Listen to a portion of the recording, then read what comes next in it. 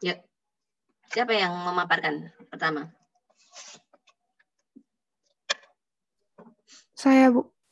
Oke, Azara. Ayo. Oke. Langsung dimulai aja ya, Bu? I- iya. Oke. Assalamualaikum warahmatullahi wabarakatuh. Kami dari kelompok 9 akan menyampaikan materi mengenai metode pembelajaran.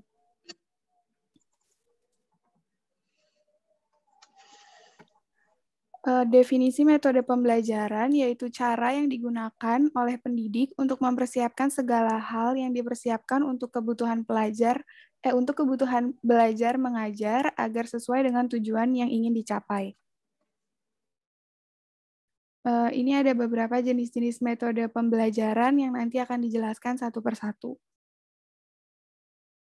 Yang pertama ada metode proyek, di mana metode ini bertitik tolak dari suatu masalah, kemudian dibahas dari berbagai segi yang berhubungan, serta pemecahannya secara komprehensif dan bermakna.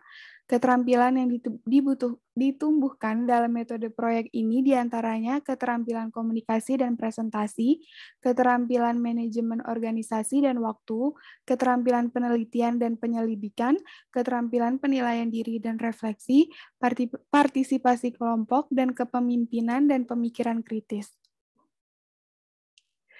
Eh, beberapa keunggulan dari metode proyek ini yaitu meningkatkan motivasi belajar peserta didik untuk belajar mendorong kemampuan mereka dalam melakukan pekerjaan penting dan mereka perlu hargai.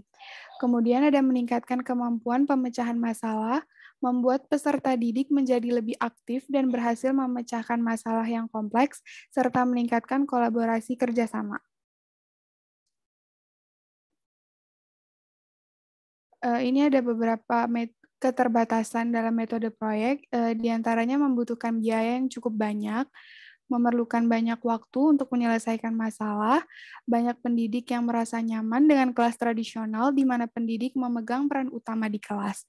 Selain itu ada banyaknya peralatan yang harus disediakan, kemungkinan terdapat peserta didik yang kurang aktif dalam kerja kelompok, serta kekhawatiran peserta didik tidak bisa memahami topik secara keseluruhan karena topik setiap kelompok yang berbeda-beda.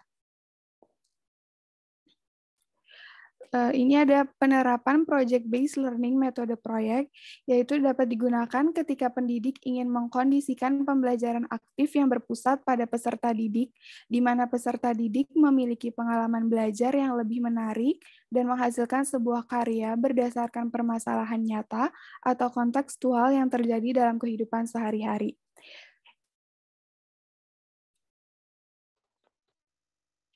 Selanjutnya metode tugas. Ini adalah cara dalam proses belajar mengajar dengan dan tugas pada siswa atau didik. Tugas tersebut dapat perkarangan buat teliti, mengumpulkan gelar, perang, dan dapat menyusun kangen dan masih banyak lagi. Metode ini juga merupakan secara ajar dengan kegiatan perenaan antara siswa dan guru mengenai suatu bahasan harus diselesaikan oleh siswa dalam waktu tertentu yang disepakati. Karakteristik metode ini, metode ini anjurkan mendukung metode belajar cermat indri. Metode ini memerlukan pemberian tugas dengan baik dari ruang lingkup maupun bahannya. Ke sananya dapat diberikan secara individual maupun kelompok. Dalam proses pembelajaran, siswa hendaknya didorong untuk melakukan kegiatan yang dapat menumbuhkan kegiatan kreatif. Metode ini bertujuan untuk menumbuhkan proses pembelajaran yang kooperatif, mendorong perilaku kreatif, membiasakan berpikir komprehensif dan memupuk kemandirian proses belajar. Unggulan metode tes pembelajaran tahan dan lekas dalam siswa. Siswa belajar dan mengembangkan inisiatif dan sikap mandiri, memberikan kesan disiplin dan belajar, dapat mempraktekkan hasil teori dalam kehidupan yang tak dapat memdalam pengetahuan siswa dalam spesialisasi tertentu. Kekuatan metode tugas, siswa dapat melakukan itu penipuan terhadap tugas yang diberikan. Bila tugas diberikan terlalu maka siswa dapat mengalami kejenuhan hingga mengganggu tenang batin siswa. Sulit berikan tugas dapat memenuhi perbedaan individunya dan minat masing-masing siswa. Dan pemberian tugas juga cenderung memakan waktu dan tenaga serta biaya yang cukup berat.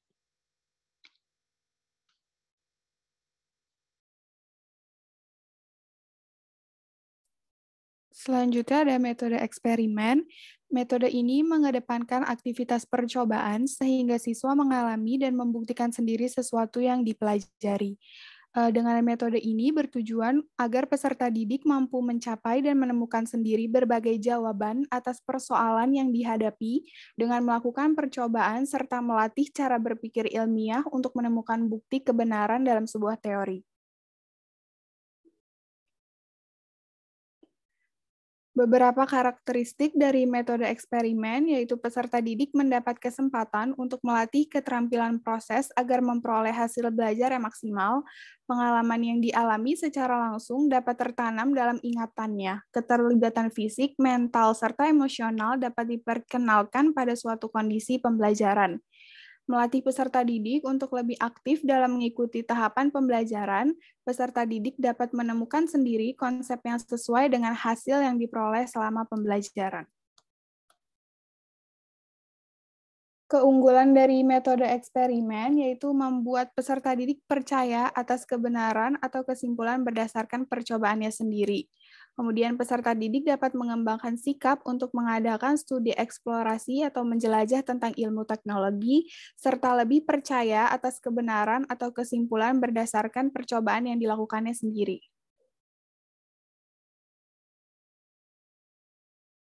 Kekurangannya memerlukan berbagai fasilitas peralatan dan bahan yang tidak selalu mudah diperoleh, kemudian menuntut ketelitian, keuletan, dan ketabahan, pada setiap percobaan tidak selalu memberikan hasil yang diharapkan dan metode ini lebih sesuai untuk menyajikan bidang ilmu dan teknologi.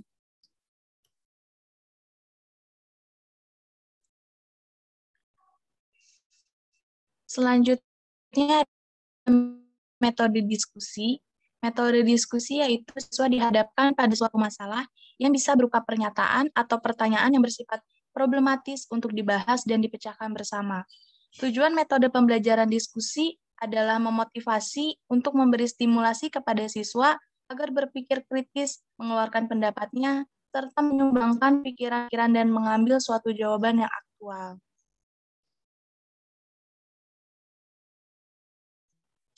Kemudian di sini ada karakteristik metode diskusi. Tugas guru, uh, tugas utama guru dalam kegiatan ini adalah lebih banyak berperan sebagai pembimbing, fasilitator, atau motivator supaya interaksi dan aktivitas siswa dalam diskusi menjadi lebih efektif.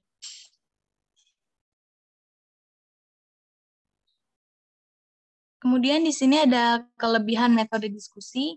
Yang pertama adalah menyadarkan siswa bahwa masalah dapat dipecahkan dengan berbagai jalan dan bukan satu jalan saja atau satu jalan saja. Kemudian membiasakan siswa mendengarkan pendapat orang lain, sekalipun berbeda dengan pendapatnya sendiri, dan membiasakan bersik, eh, bersih, bersikap toleran. Kemudian, membiasakan siswa untuk berpikir kritis dan mau mengungkapkan ide-ide kritisnya.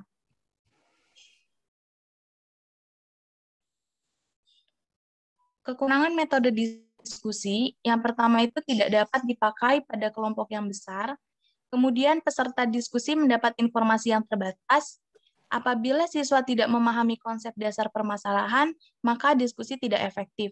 Kemudian hanya dapat dikuasai oleh orang-orang yang suka bicara. Biasanya orang-orang biasanya orang menghendaki pendekatan yang lebih formal dan alokasi waktu yang sulit karena banyak memakan waktu.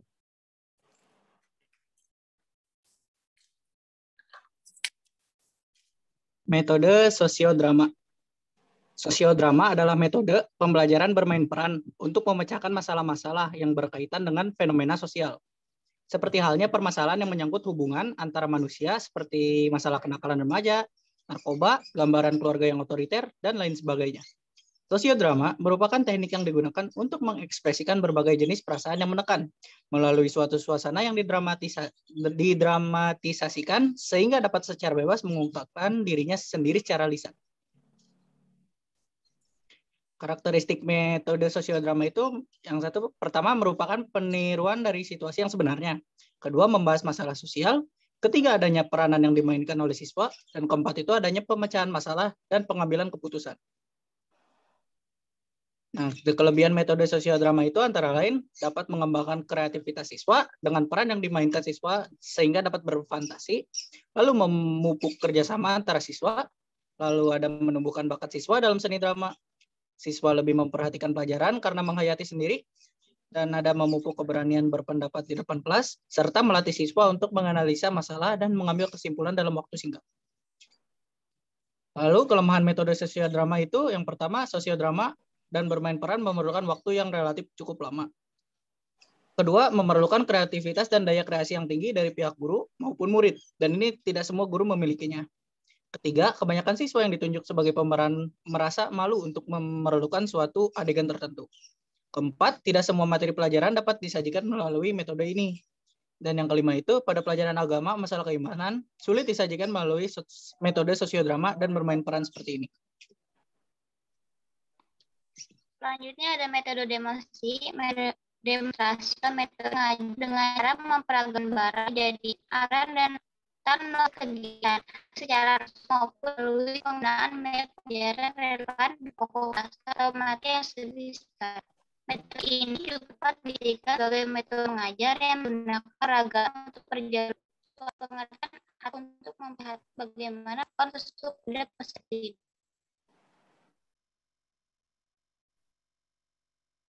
Karakteristik metode ini yaitu uh, metode ini terdiri dari tahapan, persiapan, dan tahap pelaksanaan. Tahapan persiapan terdiri dari beberapa hal yang harus dilakukan oleh uh, tujuan yang harus dicapai oleh seperti proses terakhir, siapkan garis langkah-langkah yang akan dilakukan lakukan oleh demonstrasi, lalu tahapan pelaksanaan terdiri dari pembuatan dan langkah pelaksanaan demonstrasi.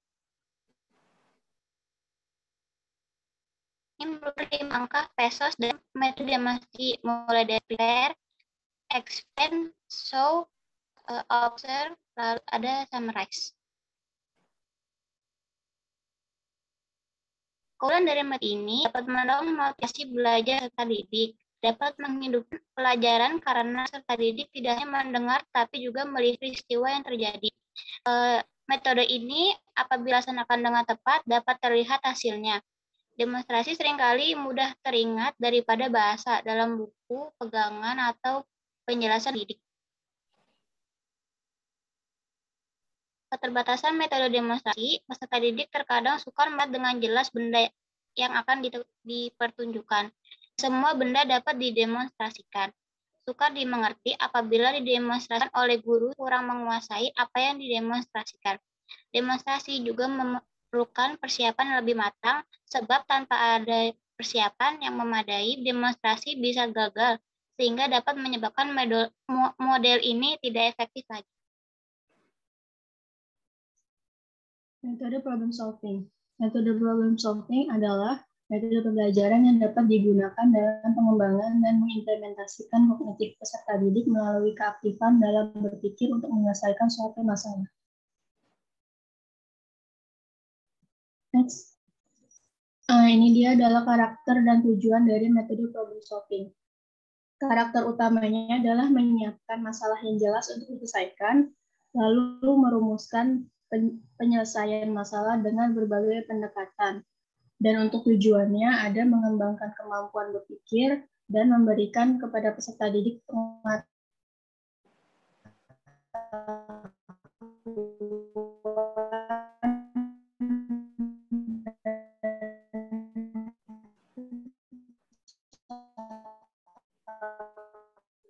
Arvinda, sinyalmu, ibu nggak dengar suaramu Arvinda. Vinda, ah, dimatiin aja videonya Vin. Vinda.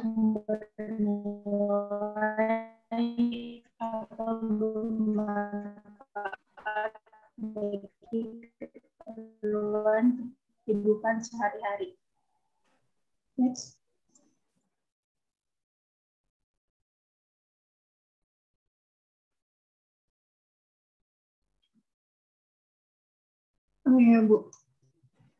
Iya, Bu. Sekarang udah jelas belum? Sudah, sudah jelas. Kalau ini nggak usah maksa ininya. Ibu nggak dengar suaramu tadi, soalnya. Nggak usah dipaksa videonya.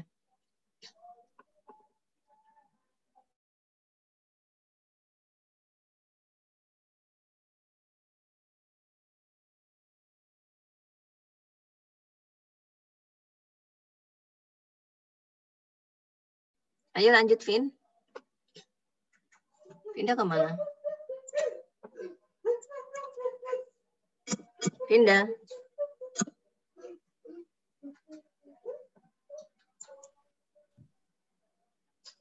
Coba kawan kelompoknya diganti. Diganti dengan yang lainnya. Siapa yang mau ini lagi? Halo Ibu, sudah bisa dengar Ah, oke. Okay. Nah, ya. Untuk kelebihan dan kekurangan dari metode problem solving. Uh, kelebihannya dia melatih siswa untuk menghadapi menghadapi problem-problema atau situasi yang yang timbul secara spontan. Lalu yang kedua peserta didik menjadi aktif dan berinisiatif serta tanggung jawab sendiri. Yang ketiga, pendidikan di sekolah relevan dengan kehidupan. Yang keempat, dapat berpikir dan bertindak kreatif. Untuk kekurangannya, ada memerlukan waktu yang lama, kesulitan dalam menentukan tingkat kesulitan masalah, siswa yang pasif dan malas akan tertinggal, dan yang terakhir ada sukar sekali untuk mengorganisasikan bahan pembelajaran.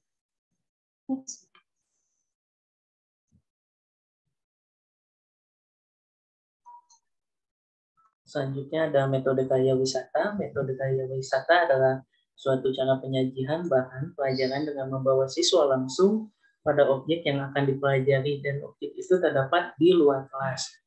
Metode karya wisata ini berfungsi sebagai kegiatan untuk menghilangkan kejenuhan peserta didik dalam pembelajaran. Juga merupakan metode pembelajaran yang mengajak peserta didik ke suasana di luar kelas atau di luar sekolah.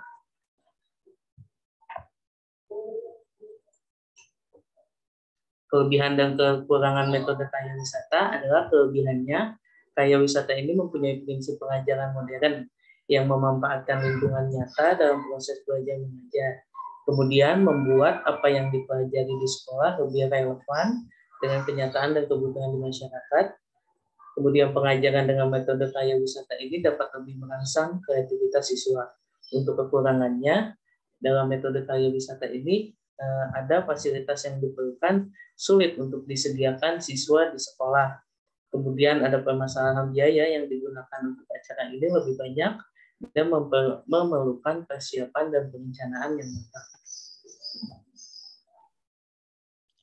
Kemudian ada metode tanya jawab. Metode tanya jawab adalah metode mengajar yang memungkinkan terjadinya komunikasi langsung yang bersifat dua arah, sebab pada saat yang sama terjadi dialog antara guru dan siswa, guru bertanya dan siswa menjawab, atau siswa bertanya dan guru menjawab. Dalam komunikasi ini terlihat hubungan timbal balik secara langsung antara guru dengan siswa. Metode tanya jawab dapat berfungsi dengan baik jika pada tahap awalnya terdapat rumusan pertanyaan-pertanyaan yang diajukan. Pertanyaan-pertanyaan yang diajukan tersebut dapat mendorong siswa untuk aktif sehingga terjadi kerjasama antar siswa. Kemudian ada karakteristik metode tanya jawab. Siswa menemukan pemecahan masalah dengan cepat dan tepat, penggunaan teknik tanya jawab biasanya baik untuk maksud-maksud yang diperlukan, untuk menyimpulkan atau mengikhtisar pelajaran atau apa yang dibaca. Dengan dibantu tanya jawab, siswa akan tersusun jalan pikirannya sehingga mencapai perumusan yang baik dan tepat. Tanya jawab dapat membantu tumbuhnya perhatian siswa pada pelajaran, serta mengembangkan kemampuannya untuk menggunakan pengetahuan dan pengalamannya sehingga pengetahuan menjadi lebih fungsional. Lalu di sini ada kelebihan metode tanya jawab. Yang pertama itu ada pertanyaan dapat menarik dan memusatkan perhatian siswa. Sekalipun ketika siswa itu sedang ribut, yang mengantuk kembali tegar eh, atau segar dan hilang rasa kantuknya. Kemudian yang kedua, merangsang siswa untuk melatih dan mengembangkan daya pikir termasuk daya ingatan. Eh, kemudian yang ketiga, mengembangkan keberanian dan keterampilan siswa dalam menjawab dan mengemukakan pendapat. Lalu ada kekurangan dari metode tanya jawab ini. Yang pertama, apabila siswa terlalu banyak, maka tidak akan cukup waktu memberikan giliran kepada siswa. Kemudian yang kedua, pemakaian waktu lebih banyak jika dibandingkan dengan metode ceramah dan jalan pelajaran e, lebih lambat dibanding dari metode ceramah. Kemudian yang ketiga, sering terjadi penyelewengan dari masalah e, pokoknya.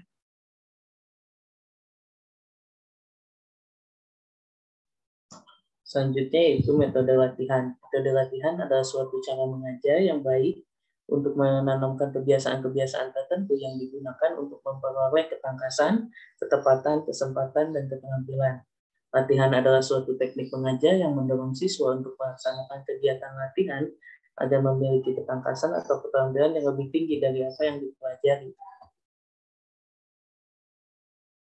Kelebihan dan kekurangan dari metode latihan yaitu kelebihannya di antaranya untuk memperoleh kecakapan dalam bentuk asosiasi yang dibuat seperti hubungan huruf-huruf dalam ejaan, penggunaan simbol, dan sebagainya.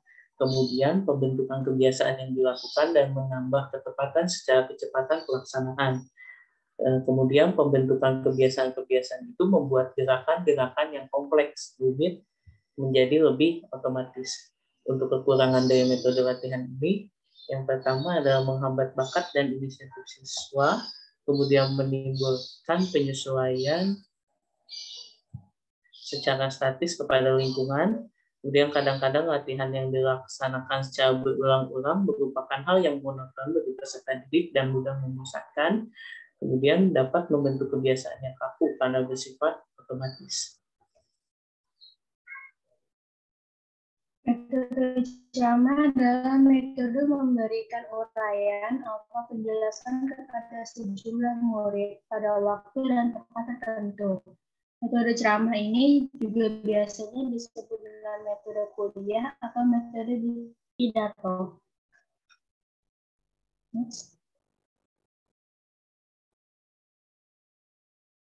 Tujuan dari metode ceramah yang pertama ada menciptakan landasan pemikiran peserta didik.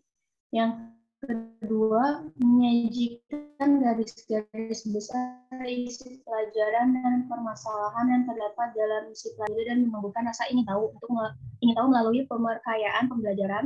Yang keempat ada memperkenalkan hal-hal baru dan memberikan penjelasan secara gamblang. Yang kelima ada sebagai langkah awal untuk metode yang lainnya.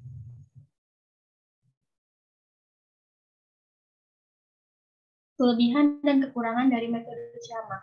Kelebihannya ada praktis dari sisi persiapan, efisien dari sisi waktu dan biaya, dapat menyampaikan materi yang banyak, mendorong guru untuk menguasai materi. Untuk kekurangannya, ada guru lebih aktif sedangkan murid pasif, guru dianggap selalu benar, dan yang terakhir siswa lebih bosan dan merasa ngantuk. Sekian presentasi dari kami. Uh, jika ada yang ditanyakan boleh. Di stop dulu itunya.